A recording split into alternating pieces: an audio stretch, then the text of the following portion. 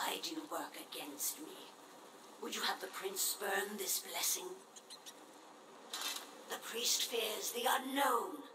That is why he refuses to acknowledge the gift the prince has been given. But why do you submit to this priest's direction?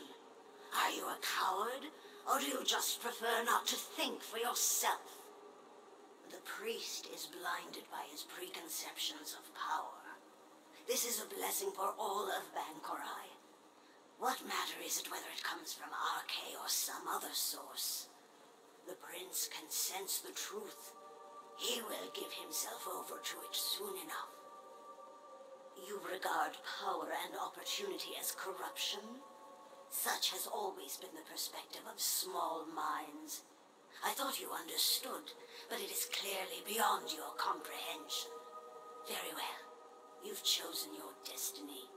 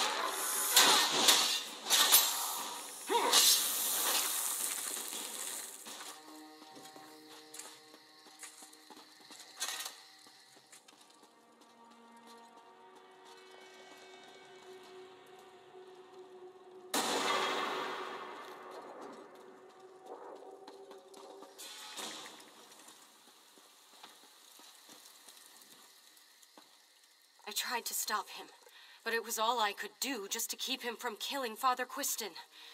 Damn it all, what are we going to do now? The prince went into a rage. He started shouting at Father Quiston, saying this was his church, and he was relieving Quiston of his duties. Then he just ran inside.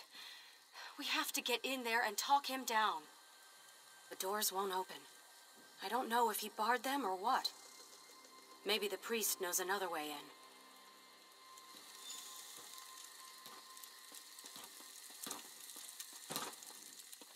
Damn it! I knew this would happen. If it had been anyone else, I would have put him to rest right away. What are you doing standing there? We have to get inside.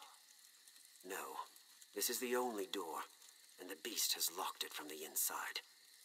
There's a spare key buried under the tree in the back. You have Arkay's blessing to go and claim it.